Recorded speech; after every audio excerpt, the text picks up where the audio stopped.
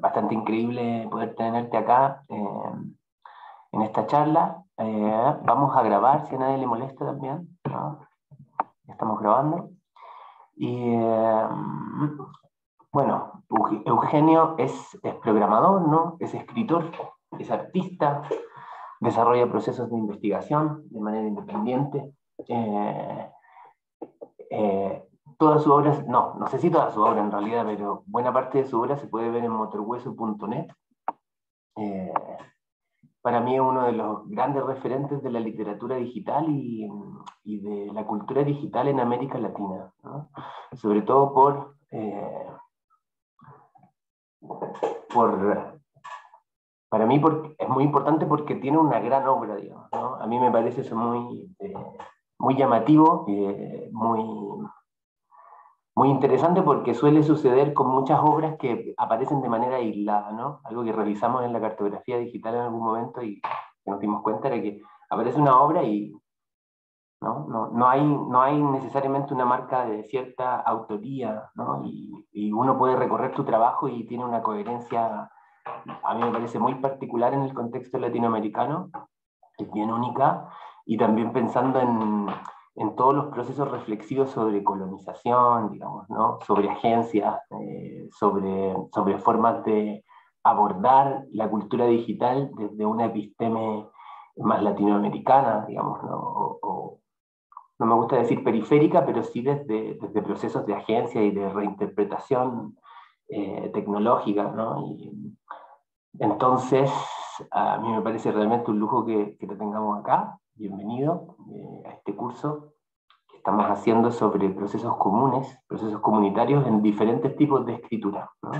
Ahora nos toca, estamos empezando a ver eh, lo que es literatura digital, eh, y después vamos a ir hacia textos, digamos, planetarios, ¿no? Vamos a pasar de aquí hacia allá. Pero estamos comenzando, entonces es también una, una especie de introducción eh, para, para, las alumnas y los alumnos. ¿no? Pues muchísimas gracias, Emilio, por, por tus palabras tan amables. Eh, muchísimas gracias a, todas, todos, eh, por estar hoy aquí, bueno, y por recibirme, sobre todo. A mí me da mucho gusto poder tomarme este tiempo para, para charlar con ustedes.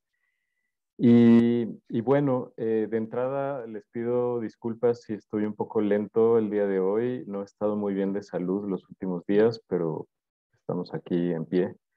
Eh, y bueno, voy a hacer mi mejor esfuerzo. Y, la verdad es que, pues, no sé, me abres eh, todo el panorama, Emilio. parece que hay muchos temas que se, que se pueden poner por el, sobre la mesa y se pueden compartir. Y, y pues no sé, en, realidad yo mm, no sabía muy bien qué preparar para, para, esta clase, en el sentido de que justamente como hay tantos temas, tantas posibilidades, eh, pues no sabía cuál de todas ellas eh, tocar o, en cuál enfocarme, ¿no? Entonces, quizá lo, lo mejor sería, eh, yo, yo, tenía preparado comentarles algunas cosas que tienen que ver más con escrituras colaborativas, más con procesos comunitarios mediados por la tecnología. Y, bueno, eh, me, gustaría eh, mostrárselos un poquito, contarles un poco sobre eso, pero en realidad quisiera permanecer totalmente abierto a la posibilidad de discutir otras cosas que, les puedan interesar. Em, no sé si mi trabajo es una gran obra, pero sí es, sí es larga, entonces hay muchas cosas que, que podría contarles a lo largo de, los últimos, diría, 20 años, me han interesado muchísimas cosas distintas. Y esto significa que, bueno, que a lo mejor eh, si, si, quieren que vayamos sobre un tema específico, eh, pues con todo gusto y ese tema puede convertirse en, en esto que llaman el, la madriguera del conejo, ¿no? Es como un túnel que desciende y desciende y parece no tener fin, ¿no? yo tiendo a clavarme mucho en los temas. Y, y sí, como decía Emilio, intento pensar eh, la literatura y el arte digital desde otro lado, ¿no? Desde mi lado, que es pues Latinoamérica, a pesar de que de que viví en Barcelona muchos años, pues nunca he dejado de, considerarme mexicano. Y, siempre me, preocupó que el arte digital, que la literatura digital que yo estaba viendo a mi alrededor estaba demasiado em, sesgada, eh, influenciada por, no, no, solamente por estética, sino incluso por valores europeos, norteamericanos, digámoslo, por, por decirlo brevemente, del, del, primer mundo, ¿no? Y muchos, muchas artistas latinoamericanas, eh, pues también eh, de alguna forma intentando mimetizar esa estética y esos valores también. Y a mí esto me generaba una disonancia, ¿no? No, no con una crítica a estas personas que, digamos, iban detrás de este arte digital, por decirlo de alguna manera, hegemónico, sino, sino la, la, incomodidad venía por el lado de decir, bueno, pero, pero ¿cuál puede ser un, un arte digital, una literatura digital que, que venga más de, desde estas raíces, ¿no? Que es, a ver, estamos hablando de un tema bien controvertido, bien, bien polémico, ¿no? Las raíces no son únicas, son diversas. Somos poblaciones muy, muy diversas. Yo, yo soy mexicano, pero soy blanco, descendiente de un padre europeo. Eh, no podemos decir, bueno, estos contra aquellos, ¿no? No podemos enfrentar eh, culturas, ni mucho menos, pero sí crecemos, nos, nos exponemos, nos movemos en un entorno cultural que tiene valores distintos, ¿no? Que tiene formas de hacer, formas de pensar, buenas, malas. Esto no, no lo pongo, no, no, lo digo como, como algo positivo o negativo. Y, y para mí era muy importante reflejar estas otras formas de hacer, estas otras formas de pensar en el, arte digital, que de entrada ya por ser digital, pues parecía que era automáticamente global, ¿no? Esto, una especie de globalidad de facto, ¿no? Yo me acuerdo que al inicio del 2000 se hablaba mucho de ser ciudadano del mundo, de, pues de una globalización, a pesar de que había movimientos antiglobalización muy, muy potentes. Eh, digamos que estos movimientos estaban sobre todo en contra de la globalización económica, que abría las fronteras al capital, pero cerraba las fronteras a las personas. Y había no, no necesariamente un rechazo a una globalización cultural en aquel entonces, había un rechazo, como les digo, a una globalización económica, pero culturalmente muchas personas con las que yo tenía contacto latinoamericanos, eh, europeos, asiáticos, personas de otros orígenes, muchas, muchos de ellos se sentían, y yo hasta cierto punto, como ciudadanos del mundo, ¿no? como ciudadanos globales. Poco a poco he ido mm, intentando criticar esta, pues esta noción, esta sensación, yo la llamaría, que permeaba sobre todo por ahí del año 2000, 2000 y pocos, ¿no? Y, esta ha sido la pregunta que ha guiado mucho mi trabajo, eh, es decir, eh, cómo podemos pensar una, un arte digital, una literatura digital que recoja otros valores, ¿no? Eh, entonces, bueno, sin, sin mayor preámbulo, si me permiten, quisiera compartirles la pantalla porque me gustaría hablarles de, de una serie de trabajos que fueron desembocando en un, en un proyecto particular eh, que Emilio conoce bien y quizá también algunas y algunos de ustedes, que se llama Los Ojos de la Milpa.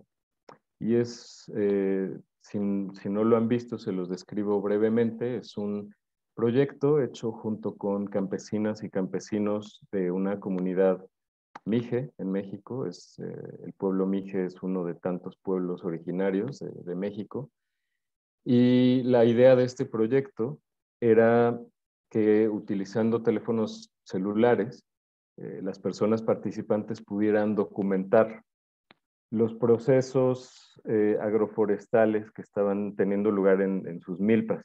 También para quien no esté familiarizado con la, con la noción de milpa, que quizá en otros países, en otras regiones de Latinoamérica tienen nombres distintos, la milpa es un sistema de cultivo ancestral que básicamente combina maíz, frijol y calabaza y es, bueno, pues es originario de, Mesoamérica.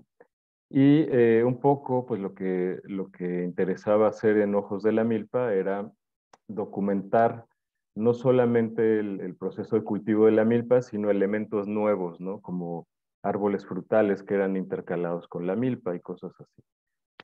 Eh, esto pensando sobre todo en que la documentación la hacen las y los propios campesinos, en contraposición a los manuales técnicos que son elaborados por un, normalmente un ingeniero, hombre, que va a la, comunidad, eh, determina las condiciones, eh, optimiza los métodos, genera un manual bastante árido, eh, bastante difícil de ver y lo, y lo difunde con esa legitimación ¿no? del manual hecho por el ingeniero. Entonces aquí interesaba ver qué pasaría si la propia comunidad hace su propio manual con sus propias palabras, en su propia lengua y reflejando sus propias ideas, aspiraciones y todo esto. Entonces, bueno, ese es un poco los ojos de la milpa, que lo comento porque quizá ya lo han revisado con Emilio, lo podemos revisar aquí también, pero yo quería contarles un poco de dónde viene este proyecto, ¿no? Porque no es un proyecto que surgió de un día para otro, tiene, tiene antecedentes, que van tan lejos como el año 2003. ¿no? Los Ojos de la Milpa fue hecho en 2012, o que viene de toda una serie de proyectos que justo les quería contar ahora. Y eh, bueno, pues ahora sí les comparto la pantalla. Denme un segundo, por favor. Ah, vamos para allá. Ahí la ven, ¿verdad? Ok. Bueno, eh, no quiero entrar demasiado en cuestiones teóricas, aunque podemos entrar si ustedes quieren, pero yo pienso en estos proyectos que les voy a mostrar como más que, más que obras, más que piezas, las pienso como estrategias, eh, estrategias artísticas, ¿no? Basadas en lo que se ha dado en llamar arte participativo, arte comunitario, todos son nombres problemáticos, cualquier nombre que elijamos eh, va a tener muchas, muchas contradicciones. Eh, yo simplemente lo llamo estrategias artísticas, que están basadas un poco en lo que decía este artista inglés. Lo, tomo como una cita que es muy ilustrativa. Jeremy Deller dijo que él pasó de ser un artista que hacía cosas a ser un artista que hacía que pasaran cosas. Y esto significa que dejó de ser un artista que producía objetos, eh, objetos tangibles, objetos susceptibles de ser expuestos en una galería, en un museo. Y lo que él empezó a hacer eran experiencias, eran eh, activaciones que sobre todo tenían que ver con, con, muchas personas, ¿no? Una especie de multiplicación de la autoría. Y ahí quiero, quiero subrayar la idea de que no hay una un fin de la autoría, como se suele decir, desde teorizado desde el postestructuralismo, Roland Barthes y todo esto, no se acaba la autoría, sino que se multiplica. Eh, Jeremy Deller pues tiene una pieza muy conocida, que quizá a ustedes les suena, que es eh, una recreación de una batalla campal entre mineros y policías que sucedió en los años de Margaret Thatcher en Inglaterra, esta batalla fue real, los, mineros estaban en huelga, eh, el gobierno mandó a la policía a disolver la huelga y bueno, pues fue una batalla campal bastante brutal, con personas golpeadas, personas que acabaron en prisión y obviamente la policía. Y muchos años después, eh, varias décadas después, eh, Jeremy Deller hizo esta recreación de esta batalla, Y entonces personas que habían participado, mineros que ya estaban jubilados, policías que ya también estaban retirados, participaron en esta especie de coreografía donde recreaban aquello que había pasado. Y, bueno, ustedes dirán, ¿por qué? Eh, pues muchas de las personas que participaban decían que esto había sanado heridas, que les había permitido entender otras cosas, etcétera, etcétera, ¿no? De esta pieza queda la documentación en video, pero lo que es importante recalcar es que ese video no es la pieza. La pieza es esa experiencia que sucedió ahí. Entonces, por eso Jeremy Deller dice que él, él no hace cosas, que hace que las cosas sucedan. ¿no? Entonces, un poco en este espíritu, esta, este tipo de, de, trabajo, de estrategias artísticas, son, son las que a mí me interesan, las que, las que yo veo que pueden como dice eh, Claire Bishop, convertirse en actividades experimentales que se superponen con el mundo, con la vida, ¿no? Y ahí la línea de distinción entre arte, no arte, intervención social, eh, etnografía, se vuelve tan borrosa que, que pues muchas veces este tipo de piezas dentro del mundo artístico, del famoso mundo del arte, ¿no? Que, que a veces usamos ese eufemismo para hablar del mercado del arte, pues no son del todo aceptadas, ¿no? Porque no son fácilmente vendibles, son experiencias, no, no es fácil enlatar una experiencia. Se puede, pero no, no es, no es eh, lo natural del entorno artístico. Entonces, bueno, para esto como preámbulo, yo en 2003 empecé a colaborar en un proyecto que se llamó megafone.net.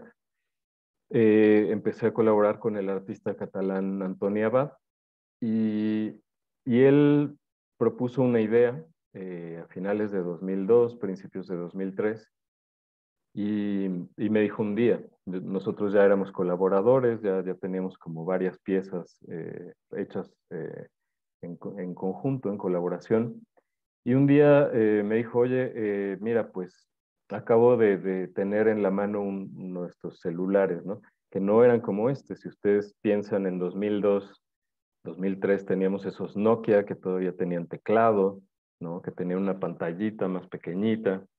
Y eran buenos teléfonos, pero bueno, ya, ya no existen. Eh, pues este teléfono me lo enseñó Antoni. Eh, yo nunca había visto este tipo de teléfonos y me dijo, pues mira, es que este teléfono permite tomar fotos y permite conectarse a internet. Y decía, wow, esto nunca lo había visto, ¿no? Y al mismo tiempo, Antoni había estado en Brasil y me dijo, bueno, pues conocí a, unos chicos que los llaman motoboys, que ahora también son bastante comunes, sobre todo ahora con la pandemia, estos mensajeros en motocicleta que van repartiendo todo tipo de cosas, últimamente sobre todo comida, eh, medicinas por la ciudad.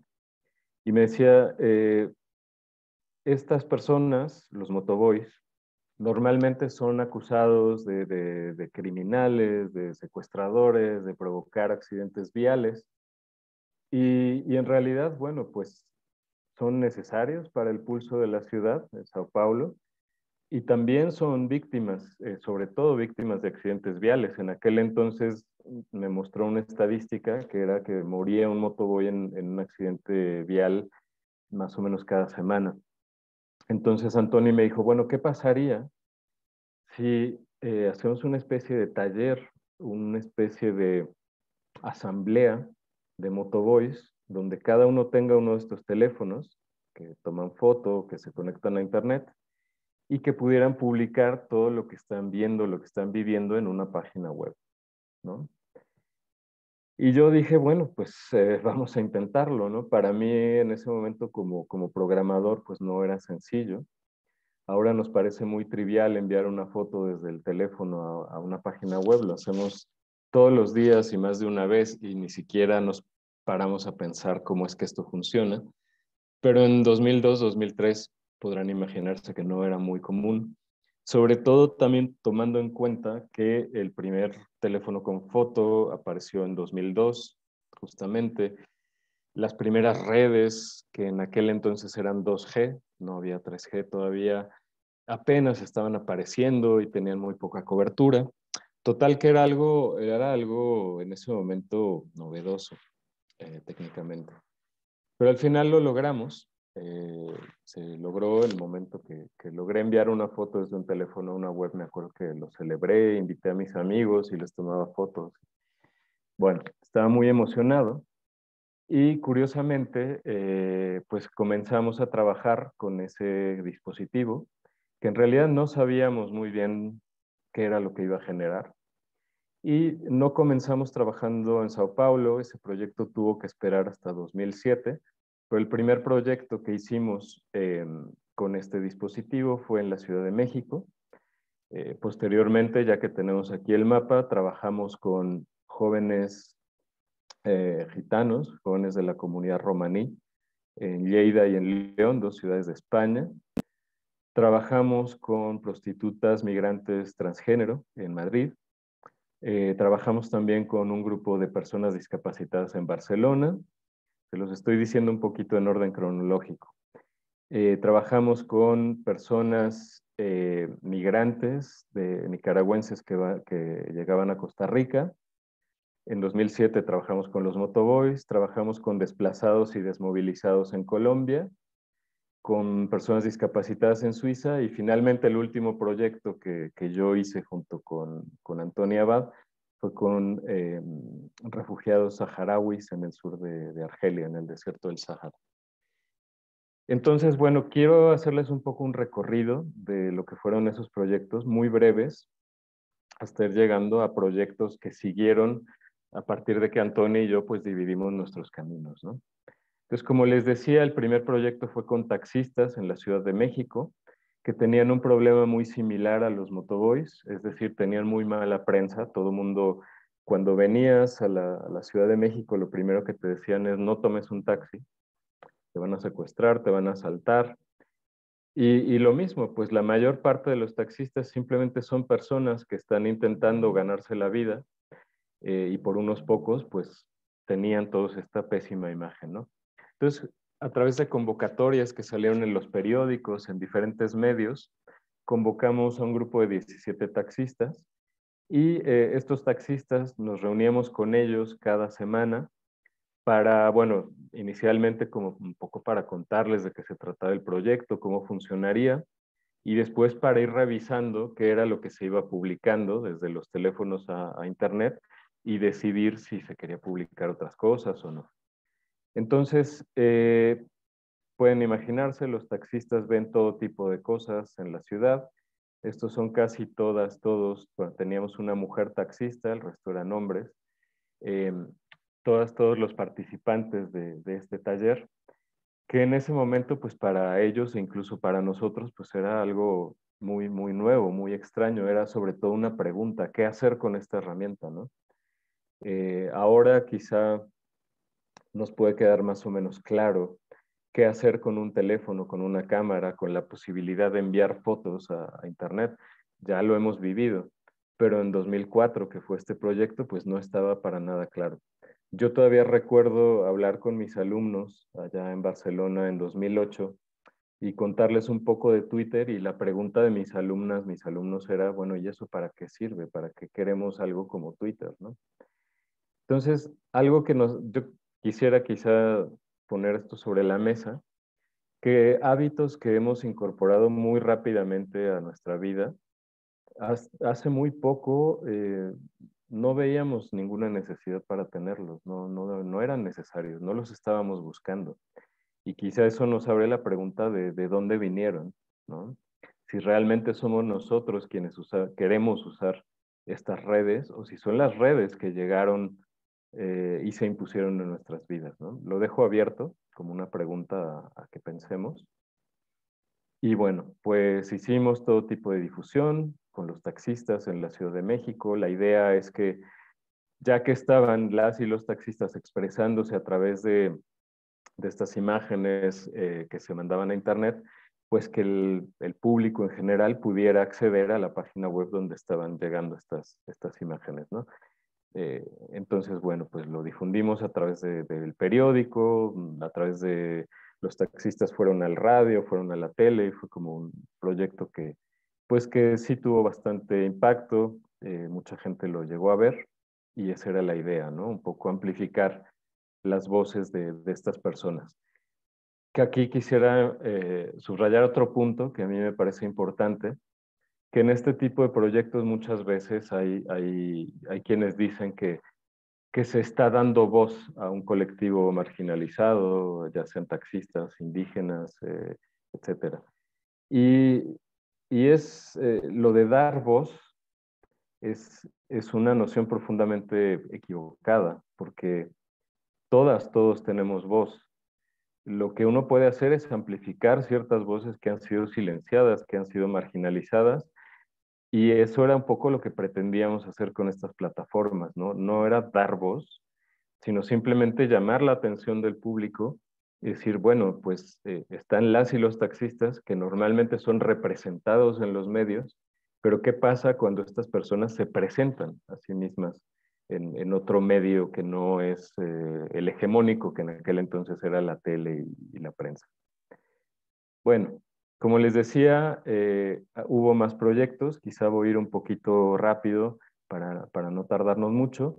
Trabajamos con jóvenes de la comunidad romaní en España, también discriminados, también marginalizados, eh, silenciados de alguna manera. Ser gitano en España es casi, casi un calificativo despectivo.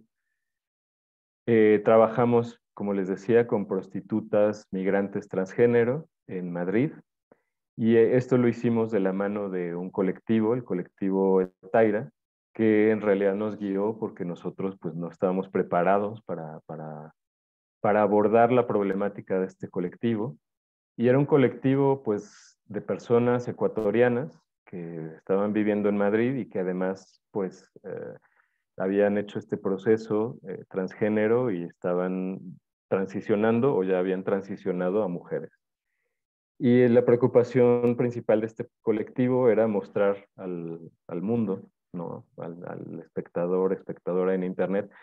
Eh, y cito literalmente, mostrar que no eran bichos, que no eran cosas raras, sino que tenían vidas normales.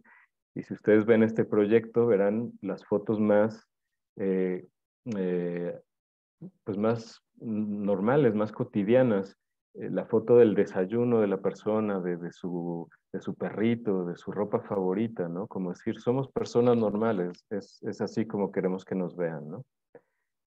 Eh, hicimos después, a finales de 2005, principios de 2006, este proyecto en Barcelona. Y este proyecto creo que fue importante porque ah, fue el primero que tuvo, digamos, como una finalidad específica. Los proyectos anteriores realmente estaban en manos de los colectivos que, que, participaban, los gitanos, los taxistas, eh, pero en este proyecto había una misión muy clara, que era identificar los, los puntos inaccesibles en la ciudad de Barcelona, como escaleras, eh, rampas muy inclinadas, cosas así, y que justamente las identificaran las personas pues, que estaban sufriendo esos problemas, ¿no? personas que iban en sillas de ruedas. Entonces, eh, creo que por esto fue importante, porque al haber una finalidad, pues se, creó este mapa que fue difundido eh, entre el público, e incluso entre las autoridades del gobierno de la ciudad. Y técnicamente también fue importante porque en aquel entonces, miren, aquí tenemos uno de esos telefonitos Nokia de, aquella época, que no tenían GPS todavía integrado dentro del teléfono, pero había módulos GPS que se comunicaban con el teléfono a través de Bluetooth. Y entonces había que tener estos, el teléfono en una mano y el módulo. Muchas veces se lo colgaban al cuello para que no fuera incómodo. Y entonces empezábamos ya a explorar estas posibilidades de la geolocalización, ¿no? Y todas las fotos de, obstáculos que iban tomando eh, las personas participantes, además, pues iban eh, teniendo su correlación geográfica de manera inmediata, ¿no? Gracias a esta posibilidad. Entonces, bueno, creo que, creo que este proyecto fue un parteaguas para nosotros. Eh, íbamos también avanzando con los, con los desarrollos técnicos de los teléfonos, íbamos sacándoles provecho. Eh, y ahí, de ahí, bueno, trabajamos con estas personas, migrantes nicaragüenses en Costa Rica. Eh, aquí, si leen rápidamente los, los globitos como de cómic eh, que, tienen las personas, están también describiendo otra cosa importante de los proyectos, que es que los teléfonos son compartidos. Es decir, que, ustedes podrán imaginarse que estos teléfonos con los que estábamos trabajando no eran muy comunes en aquella época y, muchas de las personas, que sobre todo eran personas marginalizadas, pues no tenían acceso a este tipo de teléfonos, nosotros teníamos que proveerlos, ¿no? Eh, los, los prestábamos durante durante el proyecto y como no teníamos suficientes teléfonos, pues lo que hicimos fue pensar en este esquema rotativo, que los teléfonos disponibles se iban compartiendo entre el grupo, ¿no? Después nos dimos cuenta que también esto era interesante porque habría la posibilidad un poco de redefinir el, el propio teléfono, ¿no? Que es una herramienta individual desde desde su diseño es, es una herramienta individual, ¿no? Ustedes recuerdan aquellos teléfonos fijos que teníamos en casa, que cada vez tenemos menos, y que eran compartidos por una familia, ¿no? Y bueno, pues eh, típico que coges el teléfono y le llaman a tu hermano, a tu padre y lo llamas, y entonces, bueno, están usando el mismo dispositivo tecnológico. Y acá el teléfono celular pues está pensado para el individuo, la individua, perdón por, por las marometas lingüísticas, eh, que está totalmente molecularizada, preparada para estar siempre conectada, etcétera, etcétera, ¿no? Ese es, digamos, el valor, los valores implícitos que están en el teléfono. Y entonces acá nos empezamos a preguntar, bueno, ¿y qué cosas pasan cuando el teléfono se vuelve una herramienta compartida, ¿no? Para, para pues para servir de dispositivo de documentación a, un grupo, ¿no? Y bueno, fue, fue algo que seguimos explorando. Eh, estas son fotos de los migrantes nicaragüenses. Y finalmente llegamos a los motoboys en Brasil. Aquí están los motoboys, una motoboy. Em, y aquí hay otra foto interesante, que es que el punto de reunión del proyecto era el propio eh, Centro Cultural de Sao Paulo. Esto permitía que los proyectos estuvieran presentes en espacios culturales, ¿no? Porque como les decía al principio, el proyecto son las experiencias, bueno, también las fotografías, todo lo que se va captando, pero las vivencias, digamos, eh, son una parte muy, muy valiosa de, de, estos proyectos, ¿no? Entonces, parte de esas vivencias, que eran las asambleas, donde en este caso los motoboys se reunían a discutir, bueno, qué era lo que se estaba publicando, qué era lo que se quería publicar, Ah, pues sucedían en el, propio centro cultural, ¿no? Entonces, bueno, esto es, si se lo imaginan, es como un museo y las motos llegan al museo, hay una mesa y las asambleas de los motoboys pues son públicas, ¿no? Las, y los visitantes del museo pues pueden estar por ahí un poco parar la oreja y escuchar qué están diciendo los motoboys. Fotos de los motoboys, muy impresionantes, eh, todo lo que viven en las calles es, es muy fuerte. Eh, hicimos también el, proyecto con personas discapacitadas, como les decía, en Ginebra, en Suiza. Este es un dibujo de, una, uno de los participantes. Aquí ven los, los, teléfonos celulares y todos en torno a la mesa, decidiendo qué documentar. Esta persona pues tenía, tenía cierto grado de parálisis cerebral, por eso el dibujo parece como, como de un niño pequeño. Eh, pero bueno, fue un proyecto que siguió un poco el proyecto de Barcelona y eh, otro proyecto en Colombia con eh, desmovilizados y desplazados, eh, dos grupos enfrentados que al final pues logramos un poco poner en común con este proyecto. Y el último proyecto, como les decía, es el, el, proyecto que hicimos con refugiadas, refugiados al sur de Argelia, refugiados saharauis. Ahí técnicamente podrán imaginarse que en un campamento de refugiados, eh, pues es un reto, ¿no? Acceder a Internet. Sin embargo, ya los, los teléfonos, les estoy hablando de los años 2009, 2010, ya estaban presentes y de hecho se usaban con una enorme intensidad, pues porque muchas veces era la única manera de comunicarse eh, con la otra parte del pueblo saharaui. Eh, es un conflicto muy complejo, pero en resumen, el pueblo saharaui está eh, una parte en, estos campamentos eh, refugiados en el sur de Argelia desde finales de los 70 y la otra parte del pueblo saharaui está en los territorios ocupados por Marruecos, el sur de Marruecos, que Marruecos dice que es parte de Marruecos, pero es una controversia que incluso a nivel internacional no está resuelta, y hay personas en los campamentos que pues su único hilo para comunicarse con, con, con, su parte de la familia que quedó en el otro territorio, pues son los teléfonos e, e internet, ¿no? Entonces, bueno, estos son vistas eh, de satélite. Aquí es un poco cómo se ve la interfaz de, de, de, la herramienta. Las fotos que se toman, como les decía, pues tienen su, su ubicación geográfica. Esto es un campamento. Y pues las, las personas, las sobre todo las chicas refugiadas que participaron en este proyecto, les interesaba hablar de un poco como, como las personas con las que trabajamos en, en Madrid, ¿no? eh, retratar su realidad, pero no desde el drama, no desde el conflicto, sino desde la vida cotidiana. ¿no? Esto era algo bastante notorio.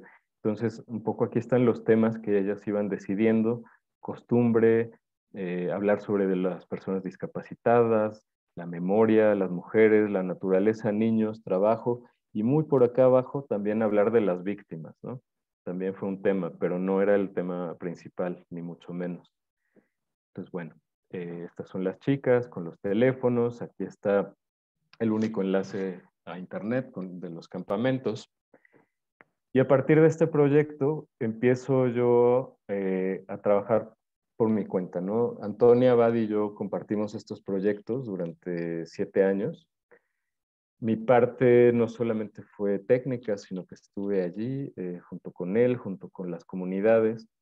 Entonces, de alguna manera yo eh, había pensado que estos proyectos eh, podían ser muy útiles si, si el dispositivo, si la plataforma se socializaba, en el sentido de la plataforma que estaba sirviendo para estos proyectos se ponía disponible al público como un software de, código abierto, un software libre, que pudiera ser utilizada, uh, utilizado por otros, por otros colectivos.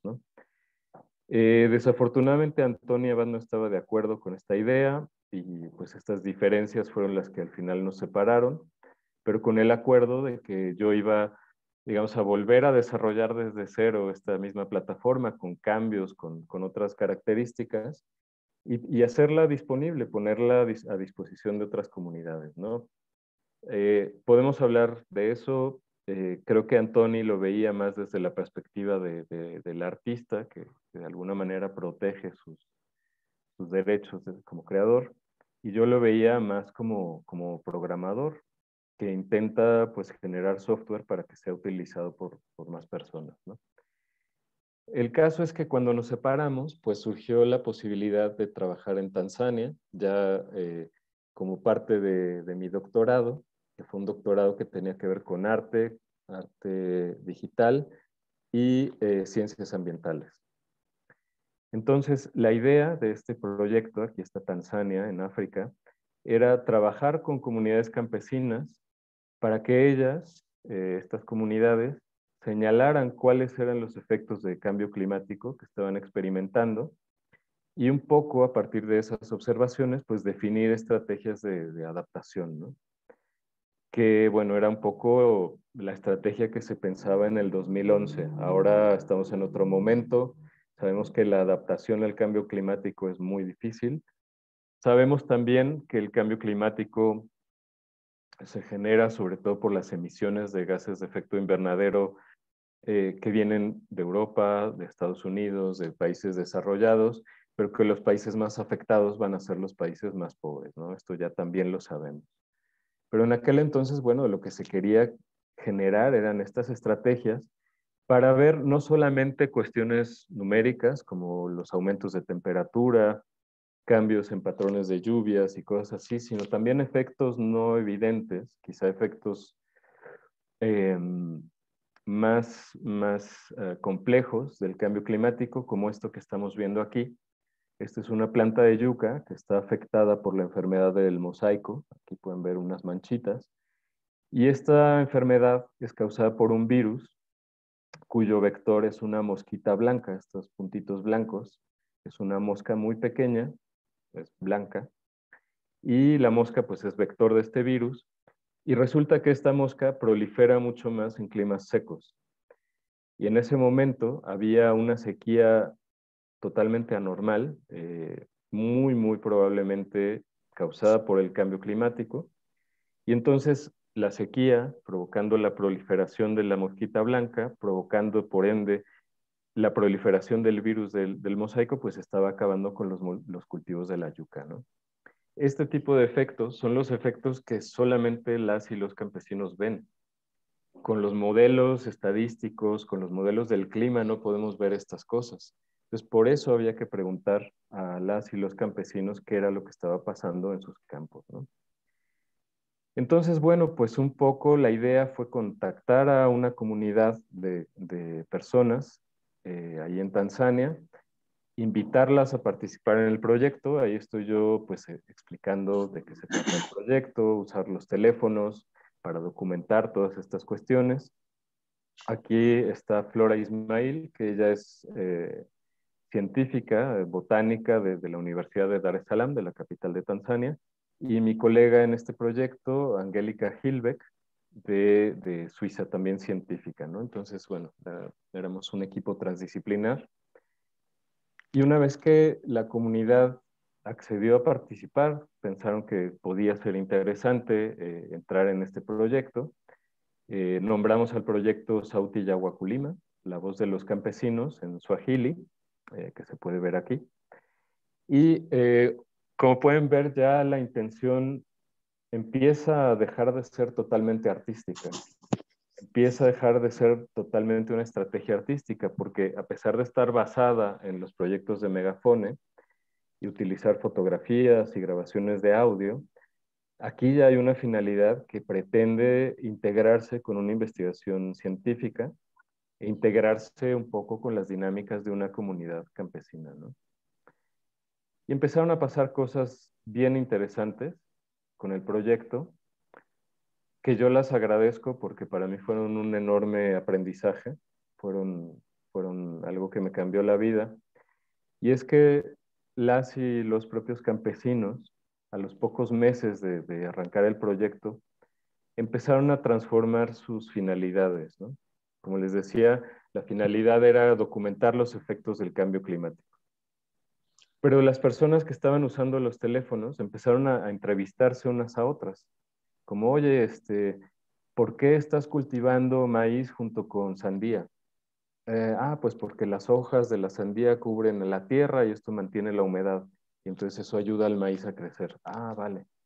Y estaban empezando a hacerse este tipo de preguntas y a realmente a movilizar conocimientos que estaban ya allí, o sea, que no, no tuvo que llevar ningún científico, sino que ya había campesinos que estaban practicando diferentes técnicas de agricultura como para adaptarse a, las condiciones de sequía, ¿no? Entonces, bueno, pues se creó sin nuestra intervención, o sea, nosotros íbamos acompañando el proyecto, pero las propias personas que participaban decidieron convertirlo en un espacio de intercambio de conocimientos, que no era la finalidad que nosotros habíamos previsto. Y como podrán imaginarse, eh, el componente científico del equipo estaba muy enojado y muy alarmado, ¿no? Porque decían, bueno, pero es que esto no es lo que queríamos, ¿no? Esto no, no nos está dando estas evidencias del cambio climático. Pero yo pensaba, bueno, pero es que es lo que, lo que estas personas encuentran valioso, ¿no? Y además, yendo más allá, quizá la mejor estrategia de adaptación al cambio climático es compartir estos conocimientos, ¿no?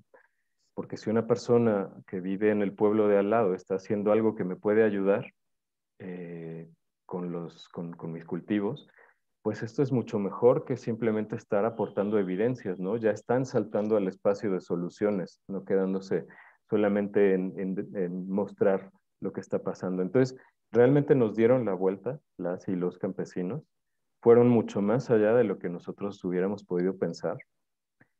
Y esto pues dio lugar a, colaboraciones bien fructuosas, ¿no? Ya voy a terminar, solamente quería mostrarles la herramienta como tal, Ojo Voz, que está pensada pues para ser usada por personas que no son, no están sentadas frente a la computadora como, como yo lo estoy todo el día y, y muchas de nosotras lo estamos.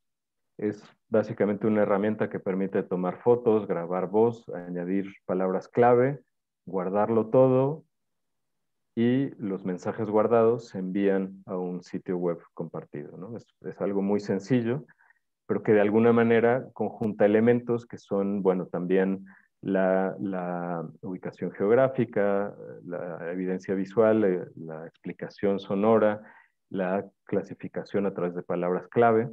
Todo esto, ay, perdón que esté saltando tanto, pues nos da este tipo de interfaces, ¿no? Donde hay palabras clave, donde hay ubicaciones geográficas, fotografías y ya en cada fotografía pues hay una explicación de, audio, ¿no? Eh, a ver, me voy a saltar un poco aquí. Solamente ya para terminar, mostrarles eh, pues que esto creció. Inicialmente empezamos con un grupo de 10 campesinas y campesinos. Este proyecto lo tomaron en sus manos unas personas de diferentes ONGs de Tanzania eh, y actualmente hay alrededor de 6.000 campesinos, campesinos utilizando el sistema. Y ya entramos en otro discurso, ¿no? Si empezamos hablando de estrategias artísticas, pasamos brevemente por la ciencia y acabamos, que es el punto actual donde está el proyecto, ya en, pues en proyectos de, de, llamémoslo desarrollo comunitario, desarrollo entendido como, como una especie de, afianzar el bienestar de las comunidades Sí, eh, un poco orquestado por ONGs, pero sobre todo pues guiado por las propias comunidades campesinas. Al menos eso es lo que se pretende. Entonces hicimos todo ese recorrido y creo que es como este riesgo que existe cuando uno activa estrategias artísticas, que yo les decía, la línea entre arte y no arte se vuelve tan borrosa que el proyecto acabó en esto, ¿no? Acabó siendo algo que era que, que ya no tiene absolutamente nada que ver con arte, desde mi punto de vista y lo digo felizmente, o sea, como diciendo, vale, pues llegamos hasta allí, ¿no? Bueno, eh, simplemente otras colaboraciones, otras aplicaciones, ya quizá no me detengo mucho en esto para no hacerlo muy largo y eh, pues más bien un poco darles la palabra por si tienen, no sé, alguna pregunta, comentario o si quieren que vayamos a revisar alguna otra cosa, por mí encantado. Así que voy a dejar de compartir la pantalla. Y bueno, gracias por la escucha. Muchas gracias, Eugenio. Muchas gracias. Eh, bueno, les quiero preguntar a, los participantes, ¿no? Si quieren, si quieren hacer alguna consulta, hay una mano levantada por ahí. Es Elena. Pásale.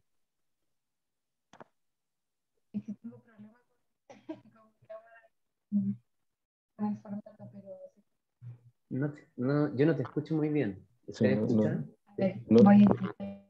Por ahí. ¿Ahora sí? Ahí sí. Sí, ahí se escucha.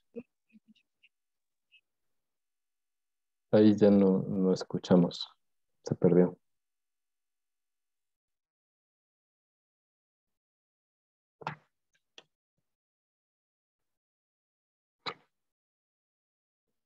Vale, por chat.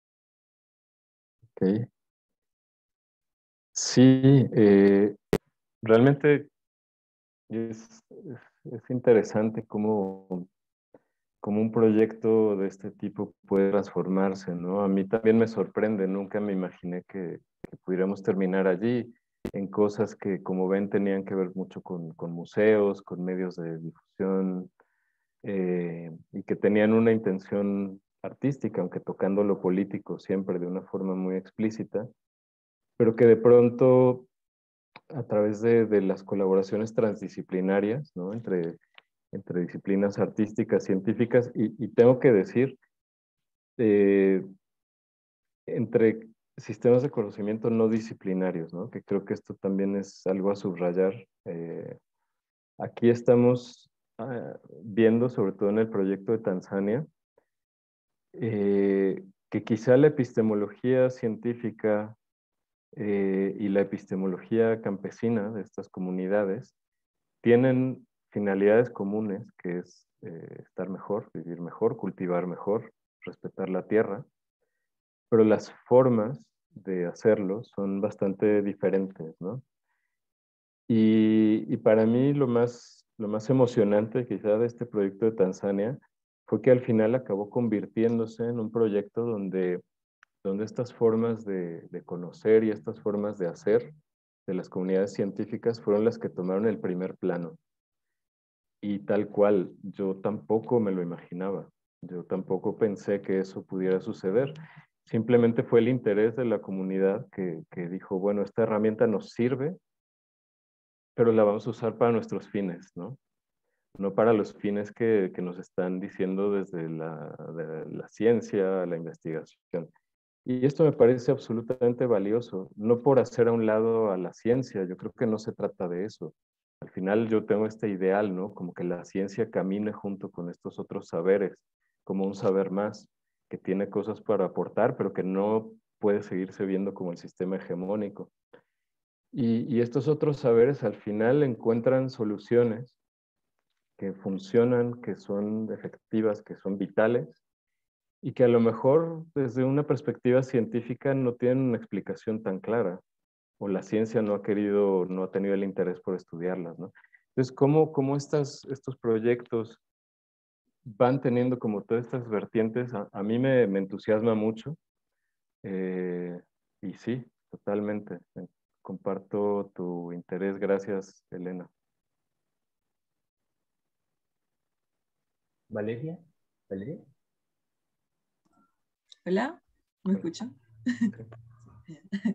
eh, primero que todo, buenos días. Eh, yo quería empezar, o sea, diciendo que, por ejemplo, eh, el profe nos mostró varios links con, con distintos proyectos tuyos, Eugenio, y, y los encontré todos súper, súper interesantes como justamente en el sentido de lo distintos que eran para transmitir un conocimiento o también como difundirlo. Eh, siento que fue eh, súper interesante y también siguiendo con, con, lo que se estaba hablando antes, eh, la importancia como de escuchar a los mismos campesinos. claro, o sea, puede que no hayan seguido con, con la, la misión inicial, pero en ese sentido eh, científicamente hablando, siento que también es súper valioso lo que se consiguió como en el seguimiento de, de, encontrar en el fondo una especie de respuesta a la problemática más que eh, seguir, seguir con la problemática en sí, eh, que se puede ver también mucho en, en el texto de quién puede investigar, que también lo encontré, o sea, yo estoy súper de acuerdo con, con el tema de que, por ejemplo, están empresas gigantes de, no sé, monocultivo, eh, que se encargan de, de, ver desde la materia económica cómo tratar las tierras, pero se le niega, eh, o sea, se rechazan todos los saberes de los campesinos, que al final son las personas que han cuidado la tierra ancestralmente, que tienen conocimientos heredados, que que muchas veces se quedan ahí, entonces siento que es un trabajo súper enriquecedor el, darles las herramientas a ellos mismos para que puedan eh, encargarse de, mantener un poco a flote esas informaciones que siento que son súper importantes, e, especialmente en el tema del calentamiento global, que, que al final la gente no sabe cómo, cómo abordarlo, pero en un minuto esto no estaba así y, probablemente sea por quizás los tratos, los cuidados, eh, la escucha que tenían las personas, que también se relaciona mucho con, con, por ejemplo, en la página web, el sitio web de La Puerta, que era, era muy didáctico, era como un formato juego. Entonces, eh, por ejemplo, con Elena, estuvimos jugando, o sea, estuvimos así eh, viendo cómo que había que hacer, cómo ganábamos, todo eso. Y, y era fuerte, o sea, era fuerte eh, de qué manera era tan directo el mensaje también, eh, desde, desde una forma súper didáctica, o sea, era casi que uno podría poner a un niño jugándolo y iba a entender exactamente igual el mensaje que en un paper científico, por ejemplo, o, o algo más erudito, no sé, el mensaje era era el mismo, era como esa urgencia, esa necesidad de tienes que escuchar eh, a los demás seres que existen, o si no, de verdad que todos vamos a desaparecer, no solamente ellos. Em, y esa urgencia que se iba poniendo cada vez más rojo, eh, cada vez el sonido más fuerte, por ejemplo. Eh, lo encontré todo súper, súper interesante en, como decía antes, como las distintas formas de, de enviar mensajes. Y siento que eso igual también cambia nuestras perspectivas desde el principio. Em, o sea, también es como, ay, es que parezco muy fan, pero que también estaba en la, en la página de, de Generative, de Generative, no sé cómo se dice en inglés, pero em, que era muy, muy genial la forma en que, en que estaba este tema de, del mensaje y de donde se explicitaba también que el solo hecho de mirar no era una acción inocente. Lo encontré súper bueno porque es muy cierto, o sea, y también en el tema em, como actual, relevante, especialmente con celulares, por ejemplo, el solo hecho de mirar algo, ya, ya estamos interactuando con el mundo, con el medio, con algo externo. Siento que, que es algo que es real y que especialmente en esta época, por ejemplo, donde está todo digital, todo virtual, eh, es súper importante la manera en la que vamos adquiriendo información eh, y que también todo está en constante cambio y todo se va renovando muy rápidamente. Entonces quizás de repente tenemos muchas cosas y, y todo va cambiando y al final todo esto termina como con este fracaso del lenguaje, como en un sentido de que todo va, va tan rápido, que va muriendo muy rápido, después aparecen otras cosas y así. Em, como al final siento lo que igual quise desarrollar un poco en esa idea era como la forma en la que jamás dejamos de interactuar con el mundo y que nunca estamos eh, en ese sentido por nosotros mismos, no es algo individual lo que nos une, sino que visto desde, desde lo común, por ejemplo, em, la forma en la que el solo hecho de, de, tener sensaciones, de usar los sentidos, como la vista, por ejemplo, ya son suficientes para interactuar con el entorno. Entonces, igual, por ejemplo, tenía la duda, eh, Eugenio, de cuál fue como el primer momento en el que te percataste como de, de esta, esta noción de que siempre estamos interactuando, por ejemplo, o que siempre se... Eh, como de que en realidad, eh, como la frase de vernos una acción inocente, como en que, ¿cuál fue ese punto en el que, por ejemplo, decidiste tomar todos estos proyectos comunitarios y, ver como la importancia, especialmente en un sistema en el que nos vemos envueltos, que es tan individualista y tan, o sea, claro, desde el capitalismo de tú haz lo tuyo y, y listo, y si tienes que, no sé, destruir toda la tierra, hazlo, porque así tú vas a ganar, eh, no sé, como quería saber un poco como tu experiencia, en qué momento fue eh, ese momento, como clave. Bueno, primero que nada, eh, te agradezco muchísimo Valeria y también a Elena por, por esa, esa lectura y, ese disfrute de, las piezas. Me, me, alegra, me emociona muchísimo, la verdad. Y, y pues es una gran pregunta esta que, que me haces, Valeria. Voy a intentar responderla lo mejor que pueda. Eh, creo que, digo, yo aprendí a programar cuando tenía 10 años, ¿no? Desde muy chico y desde muy chico había sido yo como muy introvertido, muy de refugiarme en la máquina y estar programando y hacía jueguitos en aquel entonces, ¿no? Esto, o sea, los años 80, eh, hace mucho tiempo. Y y quizá la primera, la primera cosa que me pasó fue algo que quizá muchas otras personas están sintiendo ahora que, eh, pues que en el fondo, como, como lo dice, ay, se me olvidó su nombre. Hay un, libro muy bonito que se llama Alone Together. Ah, me, me olvidé el nombre de la autora, pero me voy a acordar, disculpen.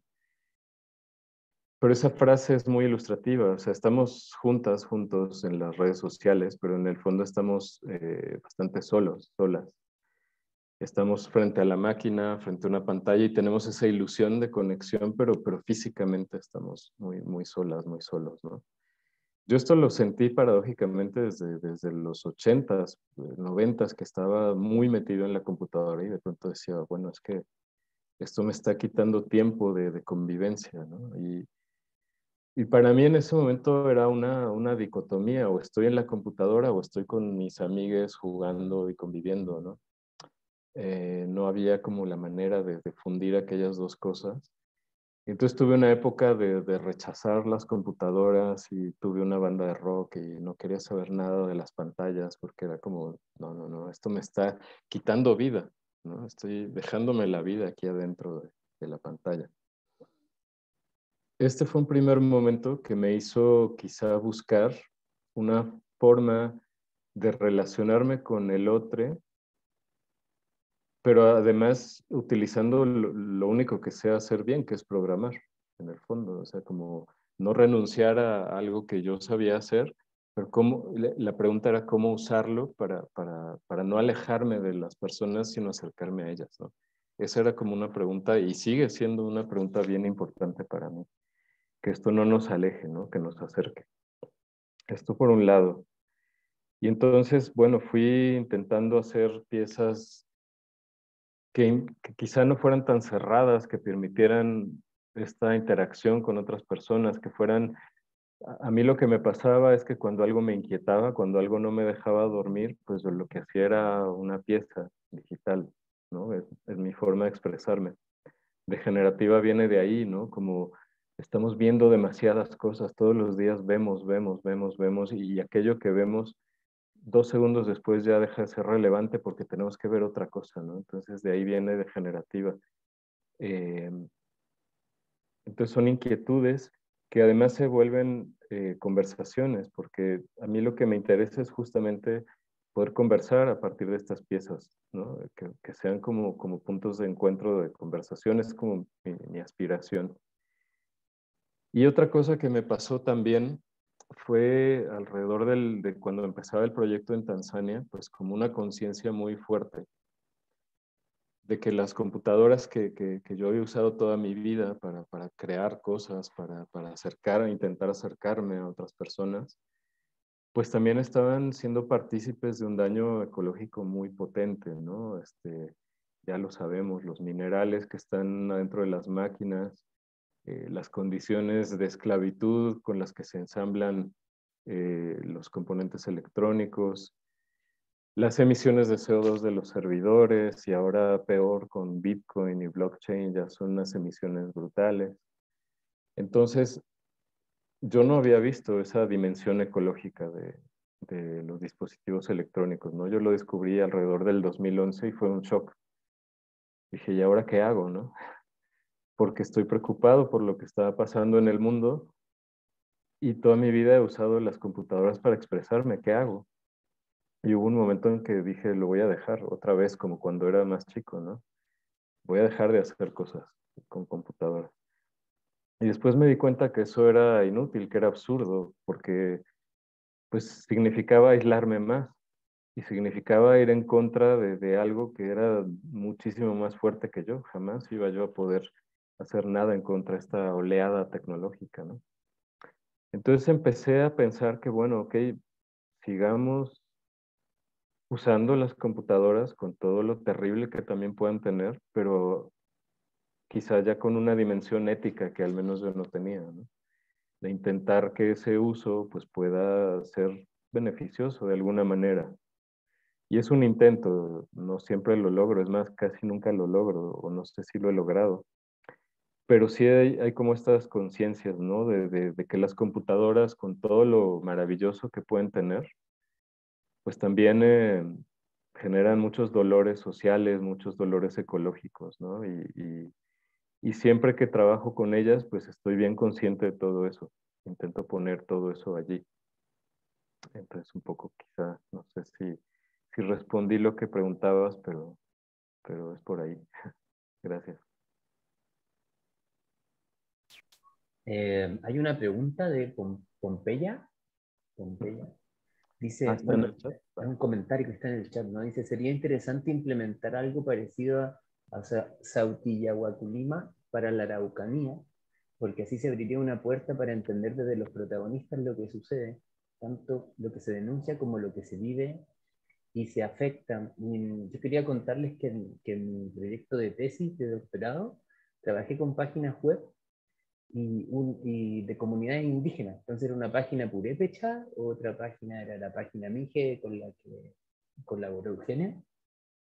y la otra era una página que fue lo que encontré, que era, era mapuche, pero era de noticias, ¿no? Era una agencia de noticias que fue lo que encontré, ¿no? Eh, y yo, yo estoy de acuerdo, digamos, con lo que dice Pompeya, ¿no? son, son, y también es una pregunta que me hago, ¿no? Como, eh, ¿Por qué esto, esto se desarrolla tanto, por ejemplo, en México? ¿no? ¿Qué, ¿Qué, diferencia epistémica hay ahí? Y también eh, pienso en, este texto de Yukui, ¿no? Por ejemplo, yo, yo hice esta tesis sobre el caso de, de Tlahuitoltepec, que dicho sea de paso, tiene una episteme comunitaria, ¿no? De, ahí viene Heriberto Díaz, que lo vimos en el curso también, ¿no? Si se acuerdan, ¿no? al principio del curso que vimos a Heriberto Díaz. Alberto Díaz es de Tepec, que fue donde se llevó a cabo los ojos de la milpa. ¿no? Entonces, yo vi esto y muchos años después leía Yukui, y es un poco lo que está diciendo Yukui, ¿no? Dice, bueno, hay, hay que hacer, eh, hay que... Es importante la técnica y es importante intervenir la técnica a través de diversas epistemes para que no se generen estas suertes de monocultivos de la mente técnicos, ¿no? Eh, quería poner en relación eso que decía Pompeya y, también quería darle el espacio a Joelson, ¿no? que está levantando la mano. Seguro tiene algo muy interesante para decirnos. Eh, eh, bueno, yo, gracias primero que nada, Eugenio, por, por tu presentación. De verdad que fue muy, muy iluminadora. También, igual que, que las chicas, he leído, he revisado mucho tu obra, también la, trabajo en la tesis. Y bueno, eh, es, una genialidad tenerte aquí. Y por eso le doy las gracias a Emilio también, ¿no? Em, tengo dos preguntas que te quería hacer, eh, así como bien puntuales, sobre todo con lo que dijiste al principio de tu presentación. Em, la primera es que hoy en día se habla mucho de la tecnovigilancia, el big data, eh, el control ¿no? que, la tecnología y los algoritmos ejercen sobre nosotros. Sin embargo, tú con estas obras que nos presentaste hoy, eh, estás dando a conocer cómo el arte puede reprogramar estos medios. Es decir, cómo en el caso de los celulares nos terminan siendo no artefactos de control, sino artefactos de otro tipo. Entonces te quería preguntar si, si tú piensas que eh, como que el arte digital o la literatura digital o el artista digital eh, es en esencia aquel que reprograma el medio o la plataforma digital, valga la redundancia, para hacer otras cosas que no estaban originalmente planeadas para ello. ¿no? Eh, Carolina Gainza habla de un término que es hackeo cultural, que tal vez podría por entrar ahí. Y quería saber ¿Tú cómo, cómo ves eso? Y eh, la segunda pregunta que te quería hacer es si tú como artista y también como conocedor ¿no? de, de, lo que se hace en Latinoamérica en términos de arte digital, ¿crees que exista alguna diferencia eh, eh, bien marcada o, característica o significativa que separa a las producciones latinoamericanas del resto del mundo, porque sabemos que arte digital teatro digital, bueno, es un fenómeno eh, que se ve en muchos lados, pero si es precisamente en Latinoamérica, ¿qué rasgos ves tú que puedes decir si te preguntaran qué caracteriza la literatura o el arte digital latinoamericano? Tú dirías, es esto, pues, o esta serie de cosas, ¿no? Eso y de nuevo, muchas gracias. Eh, bueno, muchas gracias eh, Emilio, Pompeya y Joerson. Eh, si me permiten, quisiera primero dirigirme al, comentario de, Pompeya eh, y Emilio.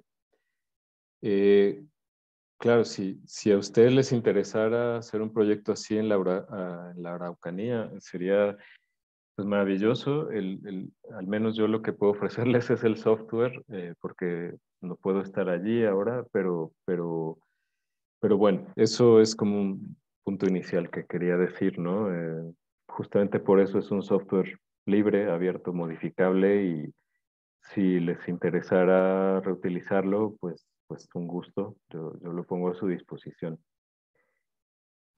Eh, yo, mm, lo que, lo que dice Emilio es, es bien interesante, ¿no? De cómo, de cómo hay un episteme muy particular en, la región, en el pueblo Mije, eh, en México. Hay muchos otros pueblos originarios con, con sus propias epistemes. Y, y, quizá la episteme Mije es la que últimamente ha tenido mucho más relevancia porque justamente pensaron la comunalidad ¿no? Que, que en el fondo es, es una episteme muy fructífera, muy generativa, pero también muy poco trasladable, en el sentido de que está pensada desde allí para el, el lugar, ¿no? Y entonces eh, leemos los escritos de Floriberto Díaz y hay cosas que, que, que, son fabulosas teóricas y después se mete en detalles muy concretos del territorio, donde lo que él dice pues es difícilmente trasladable, ¿no? Creo que la relación con la tecnología que resulta de, de, una episteme como estas es bien particular. Eh, Floriberto Díaz está hablando de derecho, incluso de derecho institucional, de la Constitución mexicana, sin rechazarla, más bien intentando ver cómo juega eh, la idea de comunalidad con la Constitución mexicana. creo que la actitud frente a la tecnología es un poco similar y esto lo digo porque hace poco tuve la oportunidad de entrevistar a, otra pensadora mije que está viva, a diferencia de Floriberto, que es Yasnaya Aguilar eh, Gil, que vive, digamos, en un pueblo más abajo, en la, región mije, que es Ayutla. Y yo justamente le preguntaba por, la tecnología, ¿no? Por estos cambios que ha habido por ejemplo, le, preguntaba si ella no tenía miedo de que la, influencia de las redes digitales pudiera de alguna forma modificar su propia forma política, que es una forma muy, muy específica, muy especial, que, está basada en las asambleas. Y asambleas donde, son larguísimas, donde se llega a acuerdos y cada persona que participa pues tiene también compromisos y hay cargos públicos que son por nombramiento de la asamblea. Por ejemplo, si a mí me nombran vigilante de la comunidad, yo tengo que dejar todo lo que estoy haciendo y dedicarme un año a ser vigilante de la comunidad. Tengo que olvidarme de mi trabajo, de todo. Y empezaba a ver como estas disrupciones, ¿no? De mucha gente pues que descubría ahora sí que el mundo a través de las redes, ya no solo a través de las carreteras y de ir a la ciudad, sino gente que de pronto decía, bueno, es que mi comunidad es muy limitada porque ya vi que en las redes pues hay muchas otras cosas que a mí me interesan, ¿no? Y yo le preguntaba a Yasnaya y ella me decía, bueno, por un lado confiamos en nuestros procesos asamblearios de regulación y por otro lado la relación con la tecnología que hemos tenido es muy larga y muy pragmática, en el sentido de que eh, los, los tejidos tradicionales de, de esa región están hechos con máquinas que vinieron de fuera, por decirlo así, que son máquinas europeas. Ahora los tejidos de, de Tlahuitoltepec, de Ayutla, se reivindican como señas de identidad locales, pero están hechos con máquinas europeas que llegaron hace 100 años, más o menos. Y, ella me decía, pues es que lo que hacemos nosotros es que cuando llega una nueva tecnología, pensamos si esa tecnología puede apoyar lo que queremos, puede ir en el sentido que nos interesa y en, ese caso la tomamos y si no la descartamos. Y, el filtro de todo eso son las asambleas, donde se decide qué hacer con esta nueva máquina que acaba de llegar.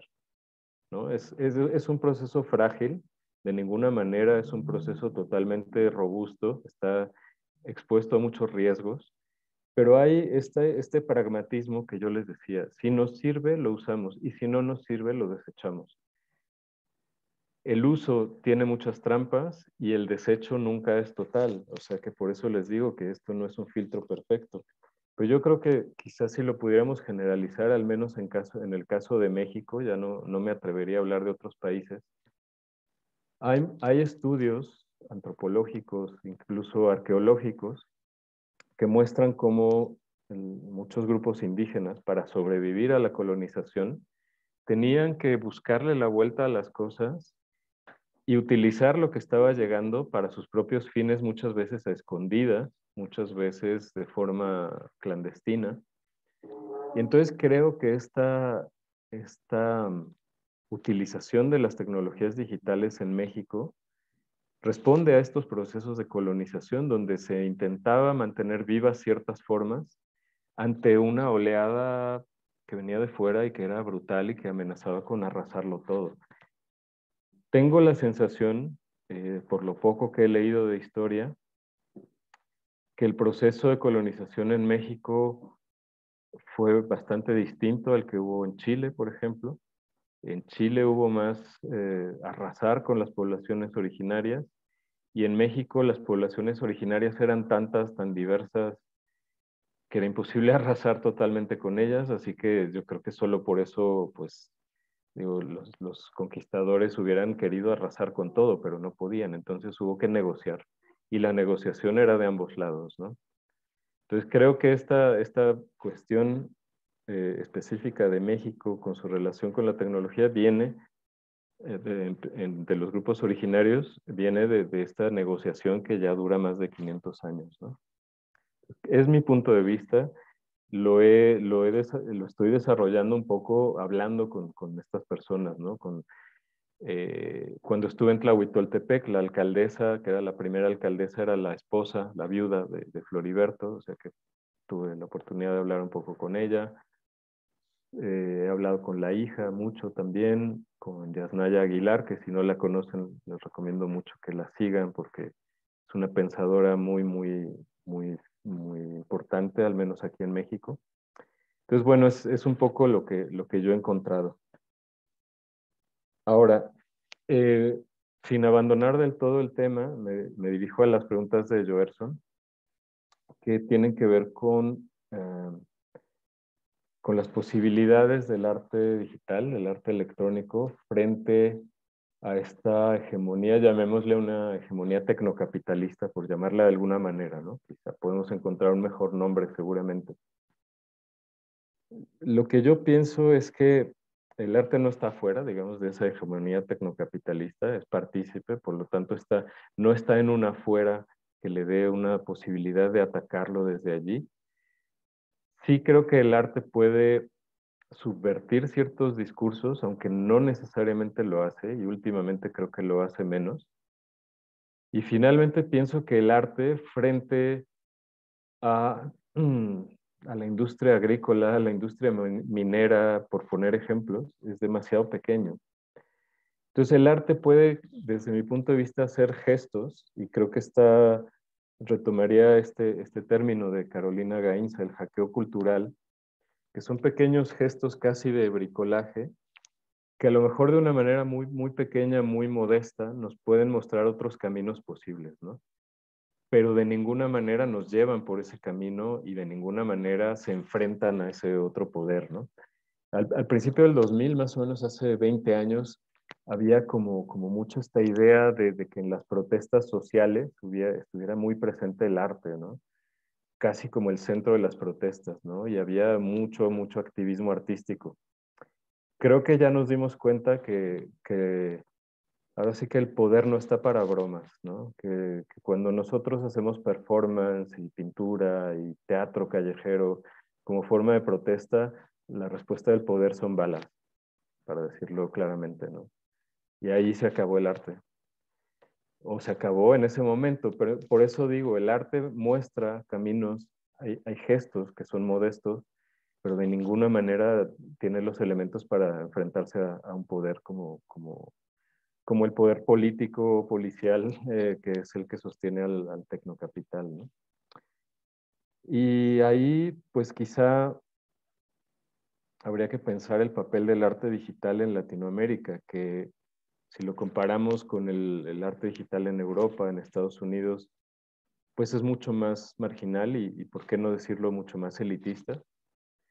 Eh, elitista no porque los medios de producción sean caros, sino porque el acceso al tiempo, a, los recursos semióticos, digamos que a mí me llevarían a hacer arte electrónico, no es algo que tenga todo el mundo. Eh, una chica, un chico de un barrio marginal de la Ciudad de México perfectamente puede hacer una pieza de arte electrónico, incluso es posible que tenga una computadora en casa, pero a lo mejor tiene una vida como tan, tan pues tan al límite en muchos sentidos que no tiene ese tiempo de sentarse y crear con la computadora, sino que está en la supervivencia. Entonces, en ese, por eso digo que el arte digital en Latinoamérica es hasta cierto punto elitista y no, y no lo digo necesariamente como algo malo, sino que realmente quienes hemos podido hacer arte electrónico en Latinoamérica tenemos ese privilegio de, podernos sentar frente a esta máquina y, y, darnos el lujo de crear con ella, ¿no? Pero sí noto más allá de eso, que sí hay ciertos rasgos que me llaman la atención y que de ninguna manera los, los trazaría en la piedra, ¿no? Y diría, este es el distintivo del arte digital latinoamericano. Pero para mí, al menos en el caso de México, refleja muchísimo esta, esta cultura contemporánea mexicana, que yo le veo el lado bueno y el lado malo, ¿no? Eh, y voy a hacer una caracterización quizá muy, muy burda, muy, muy general, pero es algo que yo veo. En México nos gusta reírnos de todo, ¿no? como, como, como mecanismo de socialización, pero también como mecanismo de defensa. Y a veces nos reímos de más, y a veces llegamos a la burla y al escarnio, y a veces también nos quedamos en la burla y la burla no nos permite ir más a fondo a, y, permitirnos angustiarnos por un problema que está sucediendo. Simplemente nos reímos y ya está, ¿no? Eh, entonces es un mecanismo de defensa y es un mecanismo también de, inmovilización política, ¿no? En su, peor, en su peor momento. Y yo diría que este, esta especie de, de, no sé si llamarlo ironía o cinismo, quizá es algo que está entre una cosa y otra, es algo que yo he visto mucho en el arte eh, digital mexicano. Les digo, no, no, no, me atrevería a hablar del latinoamericano porque sí, yo soy de la idea de que, de que a pesar de que hay mucho que nos une a los países latinoamericanos, también hay, hay, hay culturas profundamente diferentes, ¿no? Y, y, entonces por eso hablo solo del mexicano. Entonces diría que esa especie de, de actitud que está entre la ironía y el cinismo es lo que caracteriza un poco lo que se hace acá. También un poco el drama, pero claro, esto tiene que ver con, con que crecimos viendo telenovelas, ¿no? Y eso sí es algo que une a Latinoamérica para bien o para mal. Y creo que, creo que también el drama es algo que está muy presente. A diferencia de Europa, que hay, hay mucha más, mucha más em, mucho más detenimiento por las cuestiones más ingenieriles, más, más de perfección técnica, quizá, ¿no? Eso es un poco por contraposición lo que yo veo en el arte digital europeo. Aquí hay más, más drama, más lirismo, más, más humor. Pero bueno, eh, alguien dirá no, pero es una cuestión muy difícil de establecer, creo yo.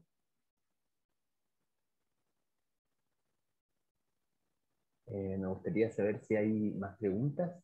Eh, ya estamos en la hora, estamos un poquito pasados, pero me parece que ha estado súper buena, buena esta reunión y escuchar la, clase. He estado muy, muy, muy entretenido y, eh, me voy lleno de notas, ¿no? de, de Espero que les haya gustado a ustedes también. Si no hay más preguntas, ¿no? vamos a ir cerrando. No sé si quieres decirnos algo, Eugenio, antes de, antes de cerrar, o si alguien quiere hacer alguna última pregunta o algún comentario. Yo solo agradecerles mucho a todas, todes, todos. Y, bueno, fue un gusto estar con ustedes. Y si quieren que sigamos conversando, pues bueno, Emilio tiene mi, correo electrónico, así que si alguien quiere seguir conversando, me va a dar mucho gusto eh, leerles y escribirles. Y gracias de verdad. Vale, muchas gracias a ti, Eugenio. Creo que fue un gran espacio de encuentro. Y em, eso. Manuel está por ahí. También revisamos el libro de Manuel en clase, que es activista, eh, el profesor. Eh, un libro sobre, sobre integración eh, alrededor del arte performático en Ecatepec.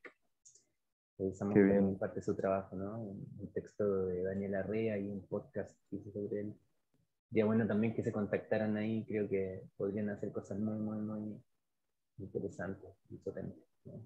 Seguro. Muchas gracias, Manuel, y mucho gusto. Bueno, que esté muy bien, ah. Muchas gracias.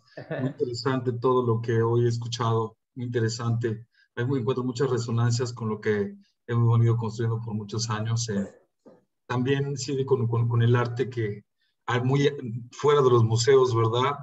También y asumiendo como esta parte también de, de la problemática eh, que nombran los problemas que hay en nuestros espacios como la periferia.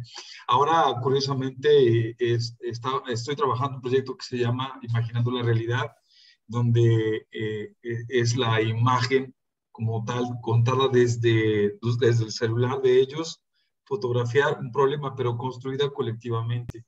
Por ejemplo, hay un tema que, bueno, hay varios temas que han elegido, son varios equipos, son, tengo cuatro grupos, son como 130, 140 alumnos, alumnas, y en equipo eligieron sus problemas, entonces hay uno que, que, que eligieron, por, por un ejemplo, que es la trata de, de, personas y el maltrato. Entonces, el objetivo es que ellos, a partir de pues, un taller que estamos construyendo apenas, bueno, que ya estamos dando, eh, sobre uso de la imagen, que es la imagen, y bueno, pues tú sabes mucho de eso, ¿verdad? Ellos van a, a, retratar y van a contar con una imagen o unas tres imágenes el problema. Por ejemplo, no sé qué va a resultar y con mucho gusto les comparto los resultados.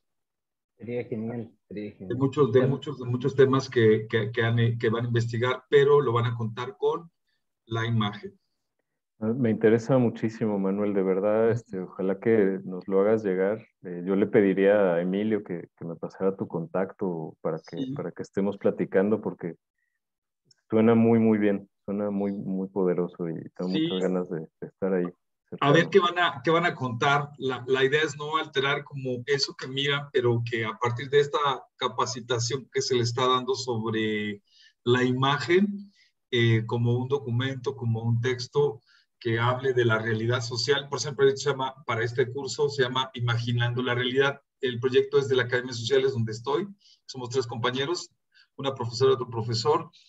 Y este, es el proyecto Una Aventura, así se llama, Imaginando la Realidad. El tema de imagen es eh, la foto, por eso el, el, nombre de Imaginando la Realidad. Es como miran ellos estos problemas, como como el maltrato, la crueldad, el encierro, eh, la desigualdad, la pobreza. Y resuena en varios de los eh, temas elegidos, el tema de la pobreza es un tema muy, este, pues que se repite, ¿no? Entonces ahí estamos buscando la manera de, de, de dialogar con ellos, el qué, qué de la pobreza. Entonces, a ver qué sale. Ya les mostraré y a ver si lo podemos compartir en redes sociales, a ver cómo, aunque sea en la página de, de, de la escuela. Eh, pero va, termina, termina en el mes de junio, la, la, la, segunda, la tercera semana de junio es la exposición de, los, de, los, de las fotos. ¿Y es, la exposición va a ser en un, como en algún lugar en especial? Ah, en la escuela, va a ser en la escuela. ¿no? el, el, Manuel trabaja en la, la, Panchito Villa, que es una escuela de Catepec, ¿no? Y um, te quería decir que quizá puedes, puedes revisar el, este ojo vos, ¿no? O sea, yo creo que es una súper herramienta para documentar y yo invité a Manuel también hoy, bueno, además de que porque es un gran amigo de la vida, porque veía estos cruces, ¿no? Yo pensaba, bueno, todo este, este trabajo que hacen con, con, con, con la, la estudiante y los estudiantes de la Panchito Villa podría ser sistematizado a través de esa app, ¿no? Yo quería, quería que Manuel viniera hoy para, para que conociera ese proceso y quizás, no sé, pudieran hacer ahí algún encuentro, ¿no? Conectarse de alguna manera. Sí. Pues ver primero tal vez los resultados, ¿verdad? Que hay y, este, y a partir de eso ver cómo, cómo con Eugenio poder, con su experiencia, ver qué, qué, qué otro, qué otro, este, eh, qué otra episteme, como, como, como lo señala, eh, lo insiste fuertemente, ¿no? Este, puede surgir a partir de ese encuentro. No, pues qué buen, qué buen encuentro, este, Manuel, y gracias, Emilio, por conectarnos. Y claro, yo voy a estar muy al pendiente de los resultados de Manuel y cuando quieras, pues me echo una vuelta por allá y platicamos. Perfecto. Un abrazo. Gracias a, a todas, a todos, a todos. Gracias. Gracias. Abrazo grande. Muchas gracias a todos, que estén súper bien. Gracias, ya, hasta luego. Damos por cerrado el curso de hoy. Hablamos para el jueves con los demás alumnos. Eh, expone Elena, así que nos vemos en clase ya no, no hay más reuniones virtuales. Cualquier comentario, cualquier eh, solicitud, y también comentarios sobre la clase de hoy, lo que quieran hacer. Escriben preguntas también, lo que necesiten, ¿vale? Muchas gracias. Que estén bien.